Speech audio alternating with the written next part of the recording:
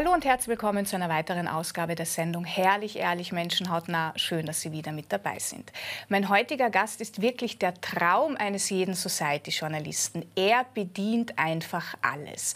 Glamour, Jetset, Adel, Musik, Kunst und sogar den Sport. Denn er ist Sänger, Fotograf und unglaublicher sechsfacher Olympiateilnehmer im alpinen Skisport. Ich bin sehr froh, dass er heute hier ist und begrüße recht herzlich Hubertus Hohenlohe. Schau, ich bin so aufgeregt, dich hier zu haben, dass ich das gar nicht hinausbekomme. Es ist ein schwieriger Name, aber, aber für Österreicher soll es eigentlich funktionieren. Hohenlohe, jetzt yes. haben wir es natürlich perfekt. Lieber Hubertus, du bist ja wirklich auf der ganzen Welt zu Hause. Du bist in Mexiko geboren, bist in Marbella aufgewachsen, lebst auch in Liechtenstein, in Wien, überall. Wie, was ist denn überhaupt für dich der Begriff Heimat? Kennst du das überhaupt? Heimat, ich bin, nein, ich, ich, ich bin, glaube ich, so wirklich der, das erste und wirkliche authentische Eurotrash-Mitglied dieser Gesellschaft. Das heißt, überall ein bisschen und nirgends wirklich. Was irgendwo wehtut, weil es eigentlich toll wäre, wenn man so seine Wurzeln hätte. Aber ich konnte sie nie wirklich schlagen durch die familiären Situationen zwischen meinem Vater und meiner Mutter. Die haben sich ja um uns gestritten sehr lange und dadurch sind wir da auch schon zwei, drei Jahre um die Welt gereist, versteckt. Von einer hat ihn vom anderen versteckt.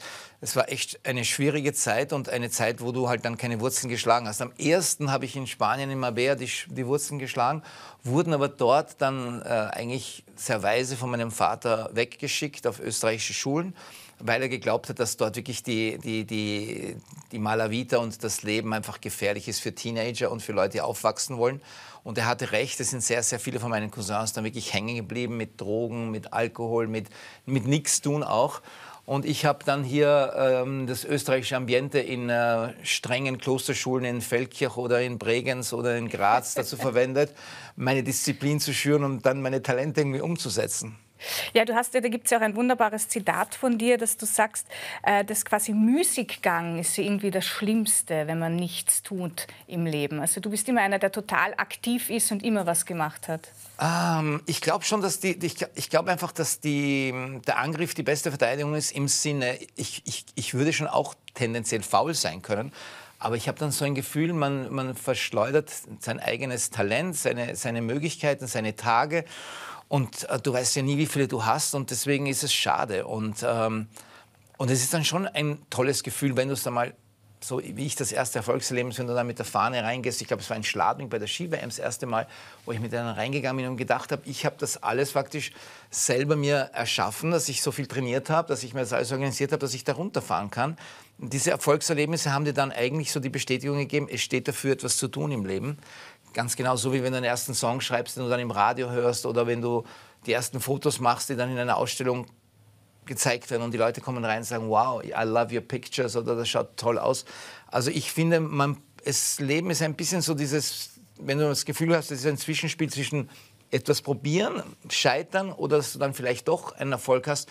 Und das gibt dir dann so die Triebfeder zu sagen, äh, wir haben so viel in uns, wir können so viel, so viel erschaffen aber wir müssen, wir müssen natürlich äh, viel dafür geben. Also es geht nicht, geht nicht von selbst, auch nicht für mich. Na, vor allem bei dir ist ja auch wahnsinnige Kreativität, gerade auch in deinen Fotos, in deiner Fotografie. Du hast ja quasi das Selfie erfunden und gemacht, bevor noch alle anderen gewusst haben, was das überhaupt ist.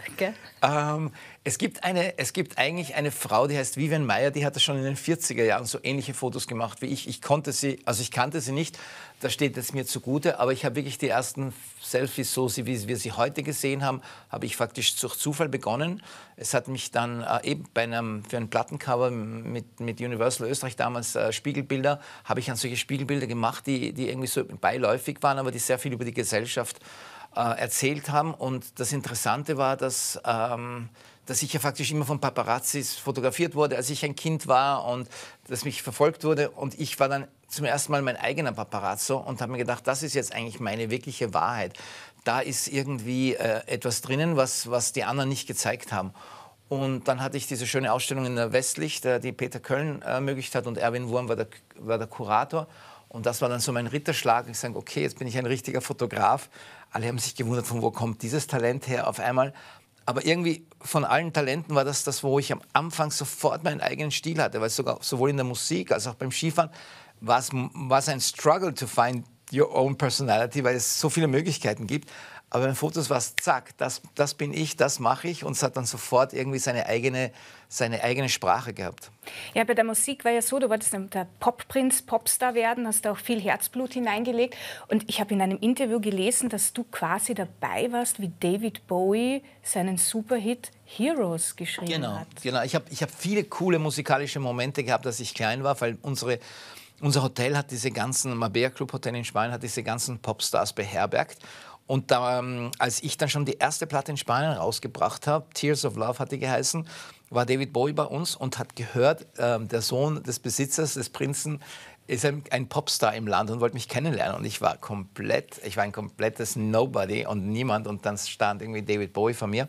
Und haben jede Nacht habe ich ihn in die Diskos gebracht. Und, und dann nach den Diskos ist er nach Hause und wollte irgendwie äh, Lieder schreiben und entertained werden und hatte dann auch Cousinen von mir herum und äh, Groupies und, und, und an der einen Nacht ist er da in diesem einen äh, Schwimmbad im, im, im Mabea, hat er begonnen, äh, da war so ein Delfine am Ende des Pools, die so, so aufs Marmor spießig rausgesprungen sind aus dem Wasser und hat dann gesungen, I wish I could swim like the dolphins can swim, we all could be heroes just for one day und hat es so auf der Gitarre gespielt und es hat nach nichts geklungen.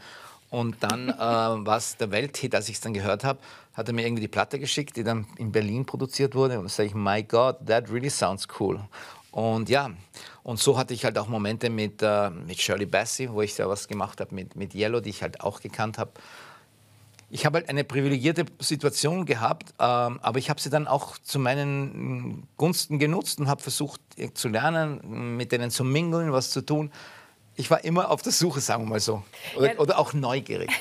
Du singst, hast ja auf Englisch gesungen, auf Deutsch und jetzt auf Spanisch. Dein neuer Song. Ich habe ich hab auch ganz am Anfang habe ich auch gleich auf Spanisch ja. gesungen, aber, aber jetzt halt richtig. Jetzt halt richtig. Ja. Dein neuer Song, ich hoffe, ich spreche es richtig aus, Noche Belligrosa. Belligrosa. Belligrosa, eine gefährliche Nacht. Ich glaube, wir hören einmal kurz rein.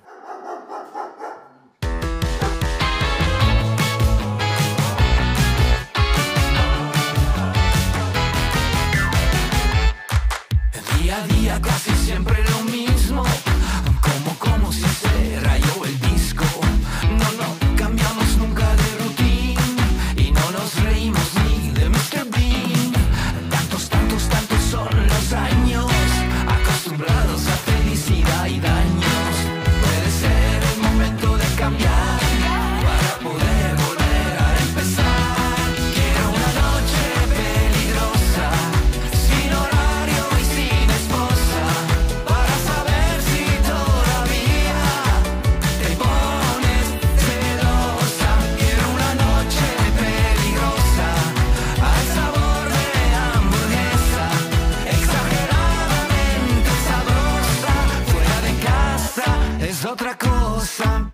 Großartiger Song und während er gelaufen ist, hast du mir gleich erzählt, Diana Lange-Swarovski war in dem Video dabei. Genau, genau, die war meine, mein, mein Star, mein Star-Cameo im Video.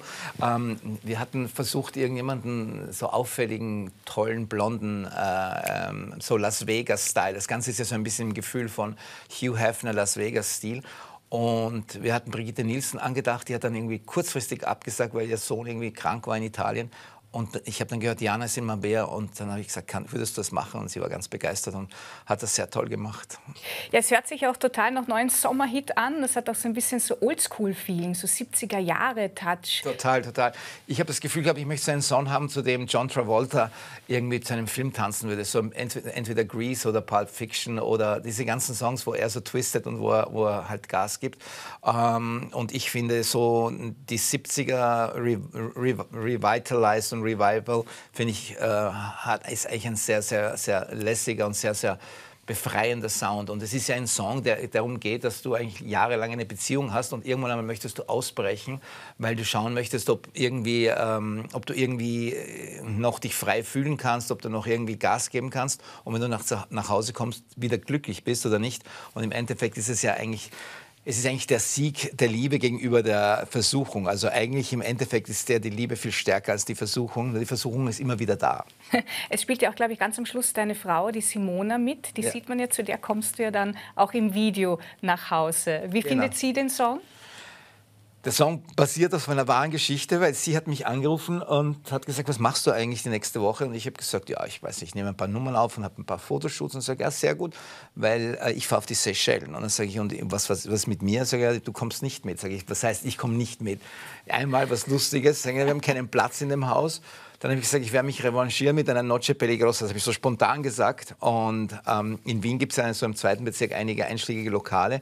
Und ich habe den, den, die, den, das Wort Noche Peligrosa so, so cool gefunden. Ich habe gesagt, jetzt gehe ich mal rein und inspiriere mich und habe all diese Männer gesehen, die dort sitzen und irgendwie versuchen, ähm, ihre Jugend wieder aufleben zu lassen und habe mich dann wirklich an einem Originalschauplatz inspiriert und einen Song gemacht. Und dann, ich glaube, wenn man zurück nach Hause kommt, dann weiß man, was man zu Hause wieder hat. Weil wenn man Tag ein, Tag aus immer das gleiche Leben führt, dann, dann, dann weißt du gar nicht mehr, was du an der Wand hängen hast oder was du in deinem Bett hast oder was, du, was da ist, verstehst du? Also von dem her ist der Song faktisch so eine, eine wahre Geschichte und ein Gefühl, wo du, wo du wirklich auch ich glaube, jeder braucht auch dieses Gefühl, auch wieder mal frei zu sein, nicht nur eingekastelt zu sein. Und das ist so mein, mein Moment des äh, mal draufscheißen und draufhauen.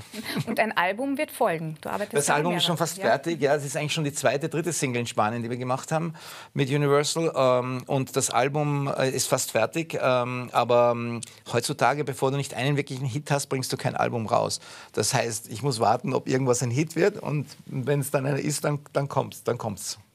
Weil du ja auch erzählt hast von dem Song, dass es Fortgehen, Ausgehen, die sich die Nächte um die Ohren schlagen. Ich denke, das hast du sehr oft und viel in deinem Leben gemacht und du hast ja auch unglaublich, wie du schon ein bisschen erzählt hast, unglaubliche Menschen kennengelernt. Aber was erdet dich? Was bringt dich dann wieder so zurück auf den Boden?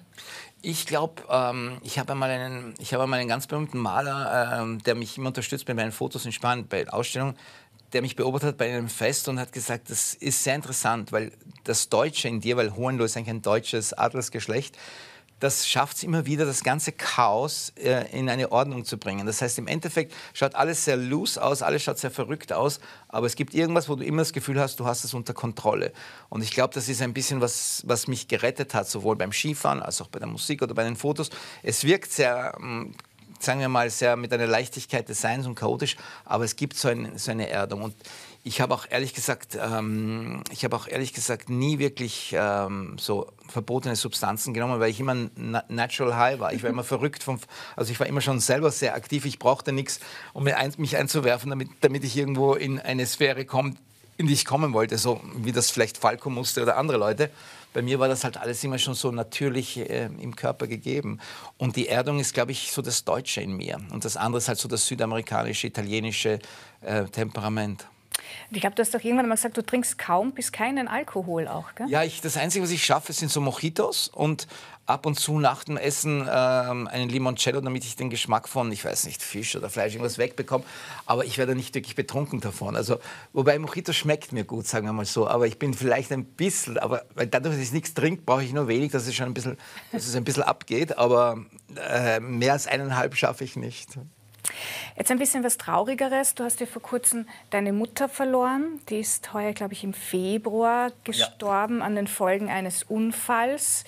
Ähm, aber ich glaube, das Verhältnis zu deiner Mutter war nicht immer sehr leicht. Also war nicht immer nur von Liebe und Harmonie geprägt. Ähm, das Problem ist einfach, dass meine Mutter äh, mit 15 geheiratet hat, mit 16 meinen Bruder gehabt hat, mit 18 mich. Dann ist sie weggegangen mit einem anderen Mann, hat uns für die ersten fünf Jahre nicht gehabt. Dadurch hat sie nie wirklich dieses mütterliche Gefühl gehabt. Das war irgendwie nie da. Und das hat, glaube ich, die ganze, hm, sagen wir mal, die ganze Beziehung äh, ein bisschen belastet im Sinne, dass sie gerne eine Mut danach eine Mutter gewesen wäre, aber es nicht mehr wirklich nachholen konnte. Aber ich habe eigentlich mit ihr ein gutes Verhältnis gehabt. Sie hat mit mir manchmal so ein, ich weiß nicht, dass ich dann immer erfolgreicher wurde und dass ich dann irgendwie ähm, eben bei den Skirennen gefahren bin und dann die Geschichte im, im Servus TV gemacht habe, wo ich auf der ganzen ja, Welt Hubertusjagd, Hubertusjagd, ja. die ganzen Leute getroffen habe dann kam mir so ein bisschen vor, so nach dem Motto, der, der, der Typ rennt mir irgendwie den, den, den, den, den Rang ab und die Ausstellungen überall in, in, aus, in Museen, in Bratislava oder Venedig oder hier, das war dann irgendwie so ein bisschen ein Konkurrenzkampf. Also sie hat, sie hat mich so als kleinen Bruder gesehen, der sich da irgendwie überholt.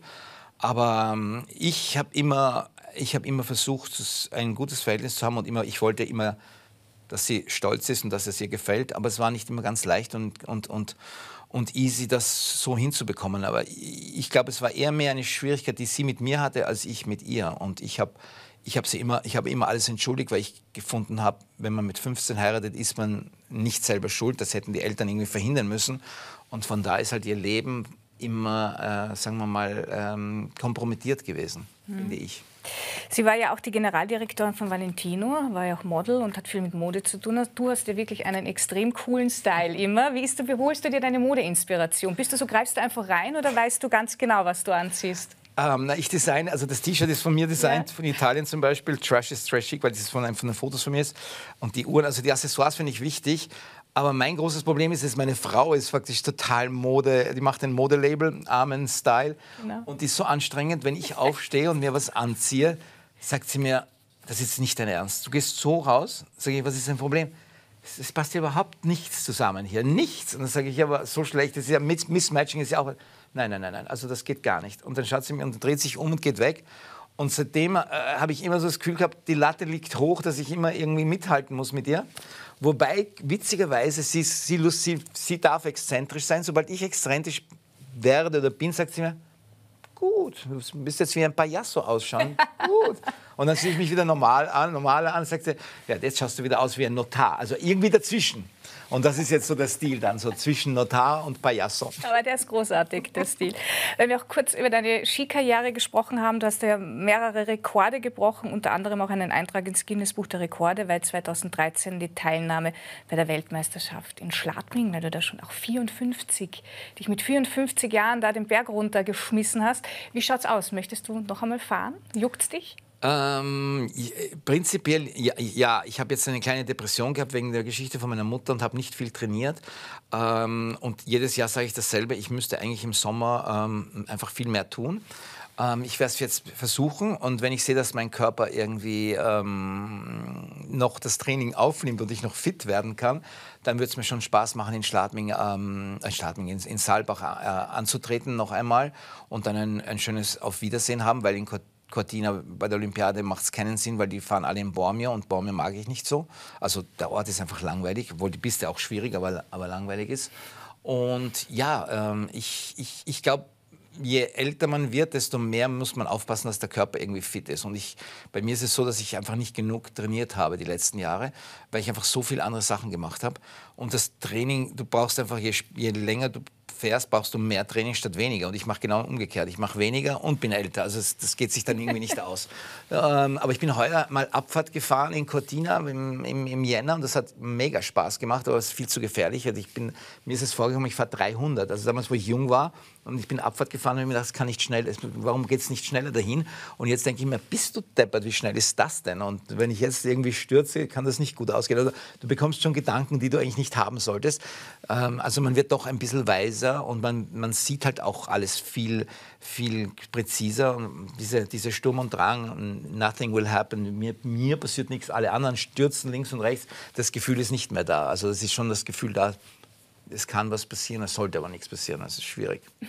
Aber du bist auch so voller Energie und so das, das Adrenalin, das brauchst du dann aber schon auch ein bisschen ja, in deinem kann Leben. Mir, kann ich mir bei dir, kann ich auf der Bühne holen, Interviews, Musik, äh, Fotoausstellungen ist auch sehr spannend, wenn du welche machst, dass du dann irgendwie, ob du, den, ob du da irgendwie den den Zahn der Zeit getroffen hast, den Geschmack der Leute, die Reaktionen.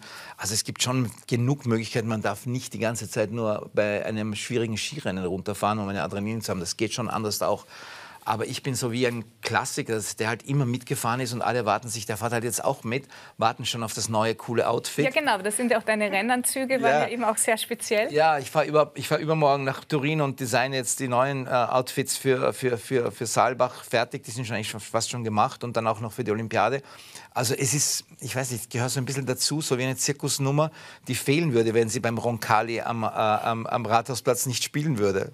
So quasi das Maskottchen vielleicht auch ein bisschen. Ein, ich weiß nicht, ob Maskottchen, irgendwie so äh, die, die, die, die, die, die, die farbenfrohste Nummer in dem Zirkus und die, sagen wir mal, die, die, die unerwartetste, weil alle anderen, ähm, es ist ja alles relativ normal, wobei jetzt ist gerade eine sehr gute Zeit, weil wir haben Hirscher für Holland, wir haben Braten für Brasilien und Dave Riding für England. Es gibt wirklich viele Nationen, die da vorne mitmischen. Also es ist nicht mehr nur Österreich, ähm, Schweiz, Italien, Norwegen und Amerika. Also es ist, es wird, es ist eine coole Zeit für Skifahren. Ja, dann sind wir gespannt, ob du wieder startest. Schauen wir. Was sind denn sonst noch deine nächsten Projekte, die du so planst? Ähm, ich, ich, bin jetzt ziemlich mit der Musik engagiert, A, und dann mit, mit Design. Ich mache viele Sachen mit, mit Uhren und vor allem, ähm, vor allem möchte ich ähm, einfach ähm, meine Fotokarriere noch auf ein anderes Level bringen. Ähm, ich habe jetzt gerade angeboten bekommen, eine Riesengeschichte im, in, in Aspen zu machen, heuer im Sommer in, dem, in so einem Art ähm, Crash heißt das, wo, wo die besten Künstler kommen. Da hat mir eine Galerie, Galerie angeboten, mit den besten Pop-Art-Artists äh, was auszustellen. Also wirklich Musik ich finde Musik und, und, äh, äh und äh, Fotos füllt mich sehr gut aus. Was ist das, welche Musik hörst du denn gern privat? Ähm, alles, also von Coldplay bis Italienisch, viele italienische Sachen, auch Fedes. Ähm, äh, ich, ich höre auch die Österreicher, die Klassiker. Ich, ich, ich, ich höre von Ambros STS bis äh, Bilderbuch, bis Wanda, bis äh, Granada. Ähm, Josh, ich, ich kenne, dadurch, dass ich in Österreich produziere, kenne ich oft ähm, die, die Typen, die dahinter sind und höre mir das gerne an. Und ich finde es irgendwie lustig zu hören, was so die, im Endeffekt spiegelt ja eigentlich die Musik so hm, das Befinden der, des Landes und der mhm. Leute wieder. Und es ist inter interessant, wenn du nicht viel hier bist, dass du einfach hörst, was, was ist gerade ein Thema, was interessant ist, was, was, was berührt die Wander oder so. Ähm, und, und da lerne ich so eure Kultur irgendwie näher kennen. Udo Lindenberg höre ich auch viel. Ja, Udo Lindenberg ist großartig. Ja, Udo Lindenberg ist auch ein Freund, aber ich finde, ich find, das ist schon interessant, was, was die verschiedenen ähm, Kulturen, was, was die erzählen, wie, die, über die, wie sie denken und, und was, sie, was sie erzählen wollen. Lieber Hubertus, vielen, vielen lieben Dank, dass du da warst. Und jetzt spreche ich es noch einmal wunderbar aus. Hubertus Hohenlohe, weil ich ja den Fehler bei der Anmoderation gemacht habe. Vielen Dank, dass du da warst. Es war ein großer Spaß. Und Ihnen vielen Dank fürs Zusehen und ich hoffe natürlich wie immer bis zum nächsten Mal. Thank you.